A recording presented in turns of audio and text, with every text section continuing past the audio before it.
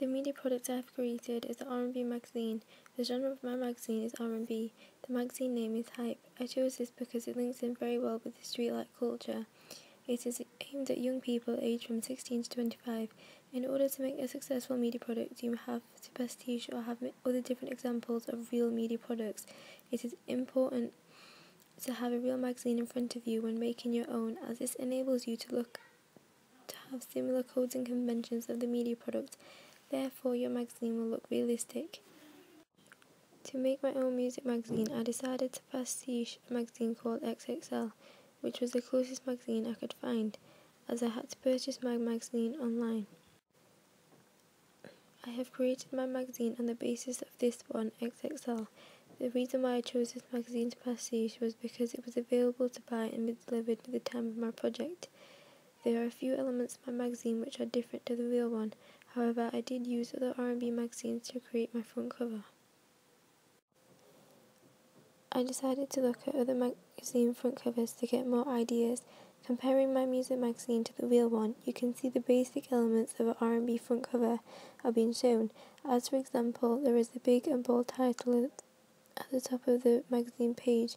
This indicates clearly to the audience that the name of the magazine, which is very important to make clear, especially to an R&B audience, as the title of the magazine establishes the genre to the audience.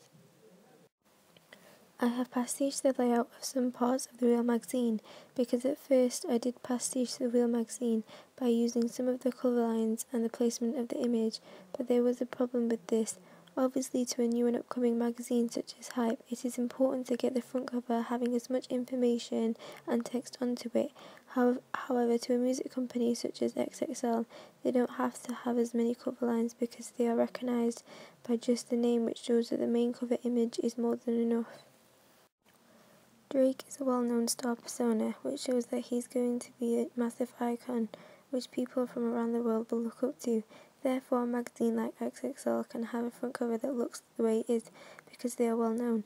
However, as a new magazine company like Hype, having cover lines, banners, shapes, and a main cover image is vital to get right, otherwise, the magazine will look unrealistic.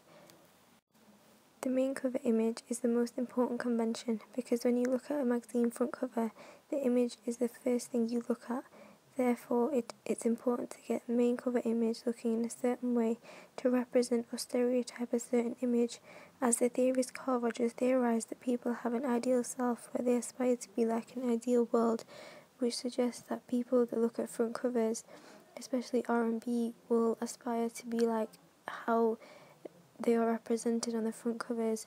So stereotypically, that's how they that they will dress because they think that these magazines will show a certain image that you should maybe follow or accept in a way.